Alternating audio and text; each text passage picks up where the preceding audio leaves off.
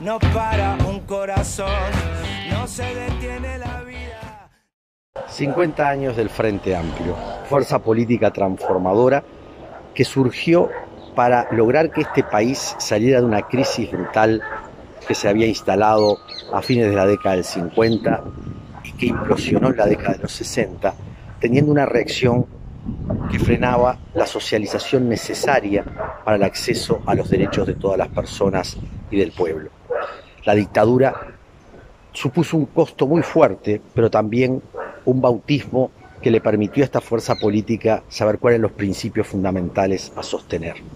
La vida democrática le hizo construir y proponer gobernar durante 15 años. Hoy nos encontramos ante el desafío que la unidad en la pluralidad, que el consenso supone procesar disensos, como decía el general Sereño. No es posible que podamos lograr ser la fuerza mayoritaria del sistema político y no captemos, captemos y logremos llevar las voluntades mayoritarias de todo el país adelante nuevamente. Es por eso que es necesario salirse del espacio propio, salirse de la endogamia, salir a dialogar con la gente. ¿Por qué estamos contra la luz? ¿Por qué creemos que hay que seguir avanzando en derechos? Porque este país es para todos y para todas en un futuro que es prometedor. Frente Amplio es la capacidad de desarrollo. Frente Amplio es la capacidad de instalarse en el siglo XXI.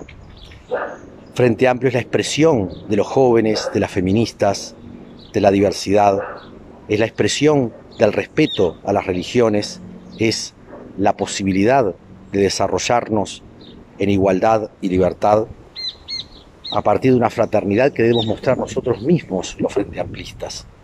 Hoy hay un conjunto de temas que nos muestran que tenemos que hacer una autocrítica fuerte, porque si no, no vamos a lograr crecer, no vamos a lograr que nuestra militancia se ponga en favor del proyecto político común, no detrás de liderazgos individuales.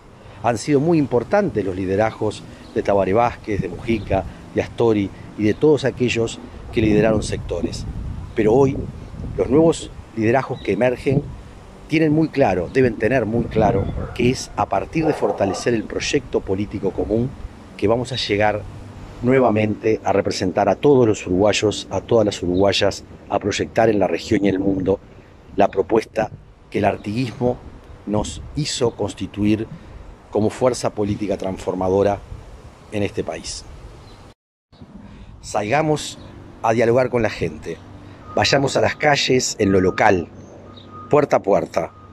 Es necesario que se vea que somos fuerza renovadora, que somos fuerza innovadora, que estamos dispuestos a escuchar, a reconocer que cometimos errores, a llevar adelante la propuesta que nos dio el fundamento de tener autonomía, no alineamiento, capacidad de derechos en un mundo donde se están conculcando, donde la democracia y el ser republicano están bajo sospecha.